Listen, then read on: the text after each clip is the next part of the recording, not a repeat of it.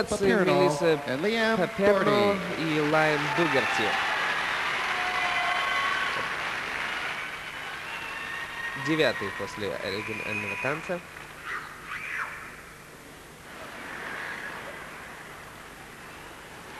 Лучшие канадские юниоры последнего года.